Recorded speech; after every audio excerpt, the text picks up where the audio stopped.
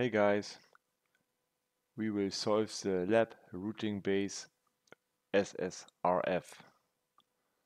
The level of this lab is practitioner and the goal is to access the internal admin panel located in the IP range 192.168.0.0 slash 24. Then delete Carlos. Okay, access the lab.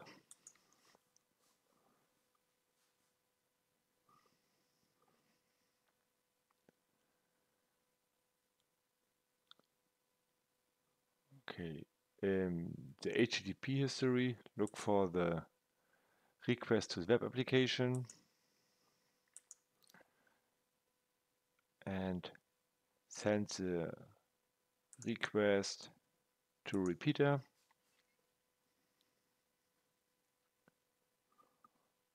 Switch to repeater and open the Burp collaborator client copy to clipboard and replace the value of the host header with the domain of the web collaborator. Send the request and switch to the Burp collaborator client and push the button point now. You see some DNS packages and one HTTP package. That confirms that we are able to make the website's middleware issue request to an iTree server. Now we can close the Burp collaborator client. Switch to Burp proxy and open the HTTP history. The get request to the web application which we send to the burp repeater should now send to burp intruder. Switch to burp intruder. Open the tab positions and click the button clear.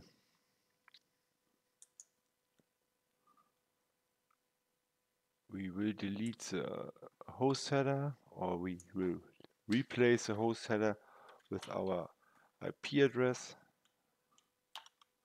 192.168.0.0 and we will add the last O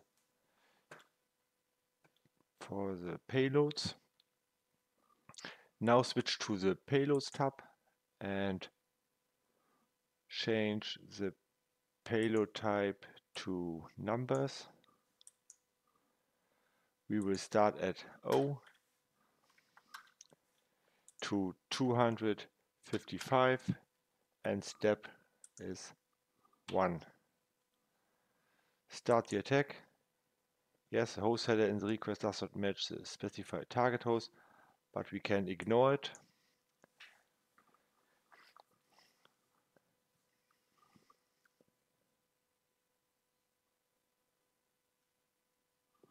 Okay, it's finished.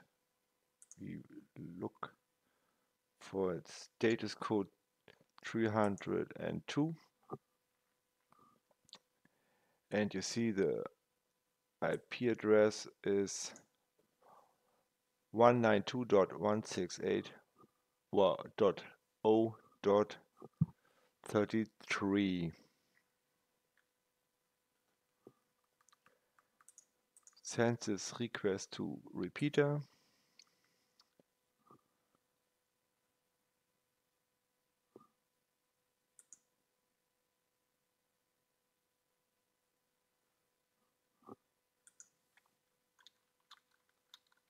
Okay, and the burp repeater, we add the admin to the URL and send it to the application. You see we received an HTTP 200 OK, which means that we have access to the admin panel.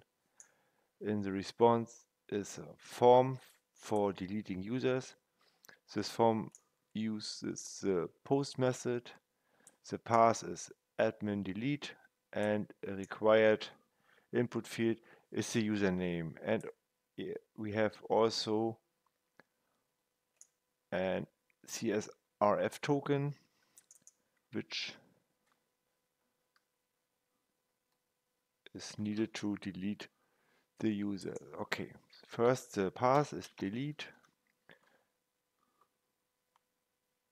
question mark CSRF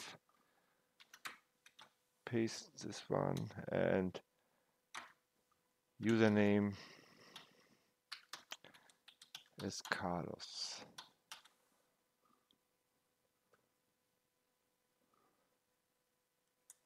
Okay.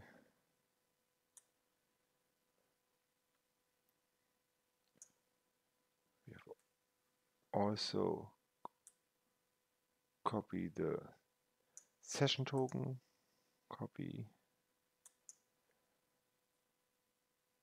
and put it in the cookie header. So and send the request.